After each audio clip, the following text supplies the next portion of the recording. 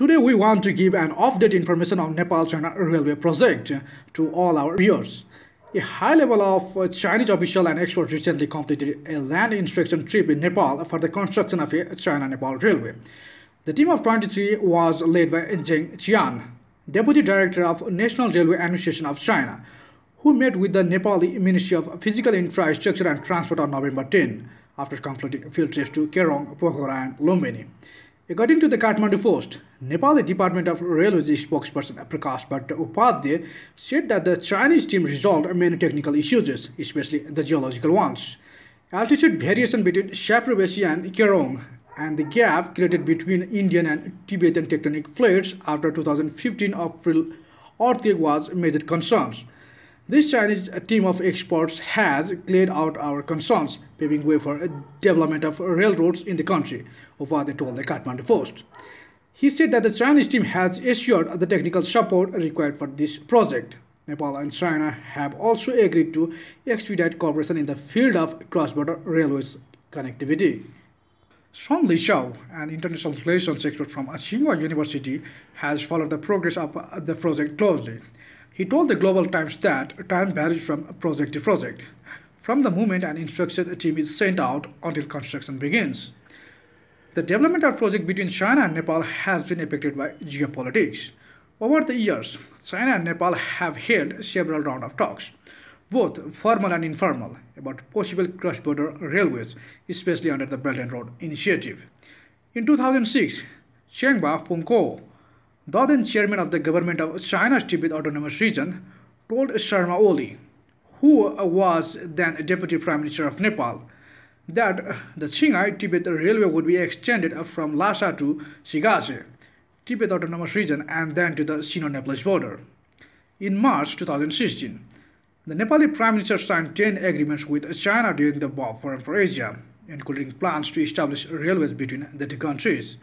In May 2017, during a bilateral meeting in Beijing, Chinese Vice Premier Wang Yang told Nepal's Deputy Prime Minister and Foreign Minister Krishna Bahadur Mahara that China was willing to push for the steady development of basic infrastructure projects between the two countries, such as road and railway construction. There were further meetings between China and Nepal in September of this year, when Mahara held a bilateral delegation meeting with Chinese Foreign Minister Wang Yi while visiting Beijing. Soon after this year's 19th National Congress of the Communist Party of China, a high-level Chinese delegation was dispatched to Nepal to carry out an inspection of the technical feasibility of the railway.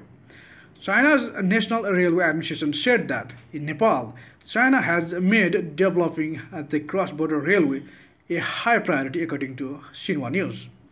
On the Chinese side, the extension of the railway from Shigatse in Tibet to the China-Nepal border port of Kerong is being carried out and will be completed by 2020. The railway is a part of China's greater plan to connect neighboring countries with roads and railways in every direction. Foreign media outlets have commented that China is executing a real railway diplomacy. Toward the west, there are three China-Europe cargo train rails, two rails between China and Kazakhstan, and discussions of a railway project between China, Tajikistan, Kyrgyzstan, Afghanistan, and Iran. To the south, the China-Laos railway is expected to be finished by the end of 2020, and Thailand has recently approved a China-Thailand railway to begin construction this year. For Chinese companies trading with Nepal, the most convenient means of transportation is rail shipping uh, from cities in Tibet to the Nepal's capital, Kathmandu. The railway's extension from Shigatse to Kerong is uh, highly anticipated.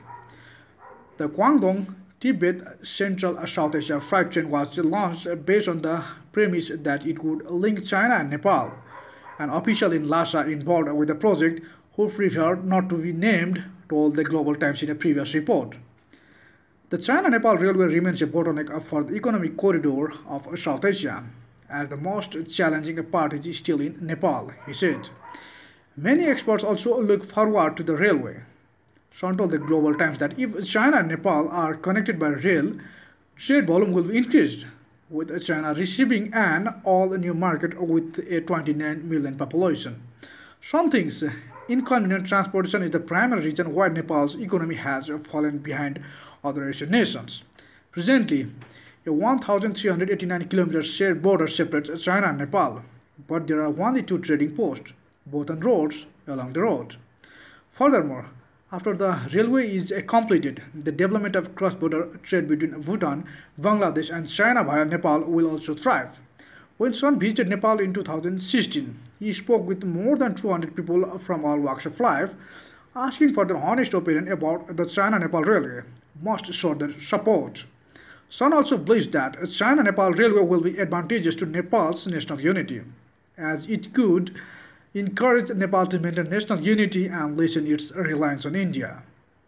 It will provide freedom and make it uh, smoother to select suitable markets for the Nepalese. It will help Nepal to manage the trade deficit. It will play an important role uh, to develop and flourish the trade, economic, social, cultural, religious, and uh, practical relations between China and Nepal, said Prem Sagar Paudel, chairman of the Nepal China Mutual Cooperation Society. When news of a Chinese surveying team arriving in Nepal got out, there was a strong response from the Indian side. There were also reports of Nepal choosing China as a new strategic partner so as to lower its dependence on or counterbalancing against India. Media reported the railway as a bid to reduce landlocked Nepal's dependency on India for supplies. Think tank researchers in India also expressed concern that China's Qinghai Tibet Railway could impact India's national security by having the ability to send troops and wartime supplies directly to border regions. Tsinghua International Relations expert Son told the Global Times that India has been concerned about the construction of the China-Nepal Railway. For years, India fully penetrated Nepal's government, army, and main political parties, preventing Nepal from getting closer to China, he said. Paudel told the Global Times that India doesn't want Nepal to fall out of its control. India clearly knows that if Nepal and China's relationship becomes strong, then India can't use Nepal's natural resources like now. They will lose the monopoly over water resources, harsh mines, he said. Some things China should push forward for the development of, of the project even if it makes India a little bit uncomfortable. But the continuation of the railway on Nepal's side will be affected largely by the upcoming results of Nepal's national election, he added.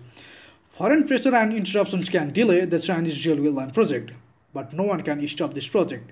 Its process is moving ahead in a slow motion, but it's moving continuously nonetheless, Paudel said. To make this video report, we have adapted this news report prepared by Chang Yi Qian of Global Times published on December 5 under the title as China, Nepal try to clear last hurdles for a new train route, India's anxiety is aggravated.